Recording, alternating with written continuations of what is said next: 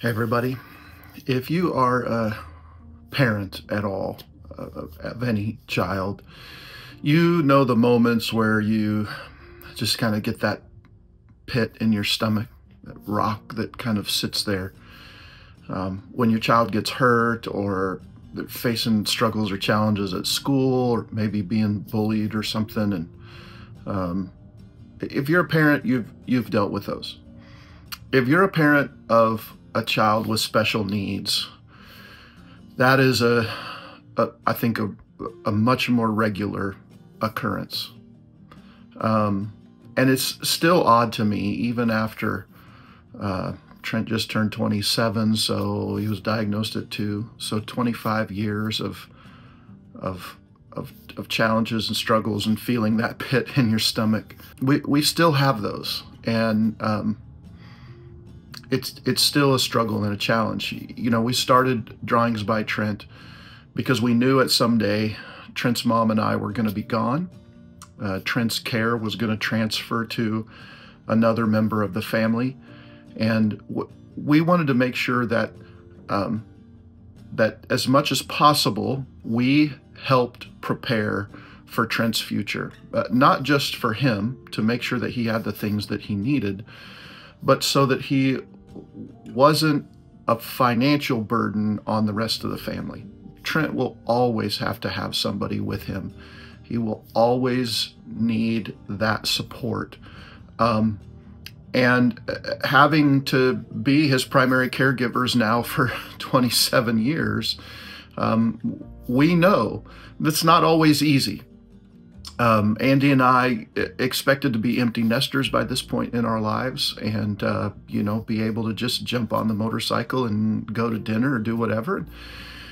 And we can't do that. We've, we've basically had a child we had to make arrangements for and take care of uh, for 27 years. Um, not, not what we expected. And so we know the challenges that are going to face uh, uh, probably Easton and, and Tristan um, Tristan Trent's sister as they take over his primary care at, at some point, hopefully long into the future.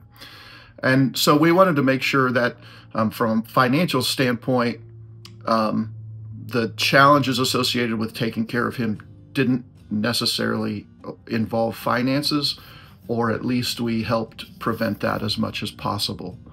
Um, we know that if Trent were neurotypical, and he had this skill. This is probably what he would do with his life. He doesn't have a voice to promote that himself, and so we're just doing our best to be his voice um, to help him do what we think he would probably do if he had the ability to to do that himself. And thankfully, it allows uh, it allows us to help him provide for his own future, and to give him um, in that in that way to give him purpose and passion in in life. But there are still times, more frequently than we like, actually, where where we just get that you know that rock in our in our stomach as we think about things. A little bit later this morning, I'm going to go in and uh, have a heart cath done. Uh, heart doc thinks I, I, might have some blockage, and so they want to go check things out. Uh, it's pretty routine. I, I, know tons of people who've who've done this. Um, I didn't expect to be doing it at 53, um, but I, I, guess that's the way it that's the way it goes. But I had I drove into work yesterday, and I was sitting in the truck before I went in the office, and and it it just kind of struck me that um, this is something that my dad's had done several times, and and now I'm going in for it. Probably my kids are going to face that at some point. But it struck me that Trent might have to deal with this at some point in his life and in his future. And when you deal with a nonverbal um, adult who can't process uh, emotions, who, who can't process what's going on around them, who who can't think about the the future and go, okay, I know I need to to put up with this difficulty for a moment because uh, at the end of this, it's going to be better for me. Um, if you can't reason that out, uh, that becomes a much bigger challenge. And so there are all kinds of things that that go into a, an individual who is an adult with special needs, especially um, with with neuro issues that that make it difficult or impossible for them to process what's going on around them or what's happening to them. You know, in Trent's case, he can't communicate uh, pain in in a, a verbal way, and he can't tell us where that pain is coming from. Um, so the thought of him having chest pains at some point and being able to communicate that effectively to somebody um, really kind of terrifies me um, because there are all kinds of things that could happen that he couldn't communicate and nobody around him would have any idea that he was struggling with that. If Trent was in pain, if he were having chest pains, he would probably get agitated. Um, he may lash out physically towards himself first, um, but then maybe towards others. Um, trying to communicate that he's in pain, but not being able to say, My chest hurts. I think I'm having a heart attack he can't he won't be able to communicate those things and and so I, I hope that by the time trent gets to be in in his 50s he's halfway there more than halfway there um, that the technology and things like um, apple watches and stuff uh, has has improved to a point where they'll be able to detect some of those things and give warnings um, that that would be really that would be really nice. Um, and and I, and I hope that some of those technologies are available in Trent's future. Um, but I just was struck by uh, this reality kind of setting in that that Trent's not getting younger; he's getting older. He's going to face physical challenges um, that many older people face, and that just brings on a whole new set of things for us to be aware of and concerned with, and and um, and and honestly, sometimes worry about. Uh, I'm able to to understand what's going to happen today. I'm prepared for it. Uh, I don't know what they're going to find, but I'm I'm okay with with that, and and let's move forward. And I I know where I'm going, so um, you know, I'm I'm feeling pretty good, but it does concern me that um, maybe after Andy and I are gone and Trent is with uh, Tristan and Easton, and they have a family of their own uh, and are taking care of him and running the business and things as well, that they're going to have to deal with this, and um, and that that's concerning. And so we want to make sure that that we have things in place as best as possible so that Trent can not only uh, receive the care that he needs, but if he needs a, a, wearable device or something that will help alert other people to the things going on in his body that he's unable to e- express or talk about, um, uh, tell somebody about, that that that device might be able to alert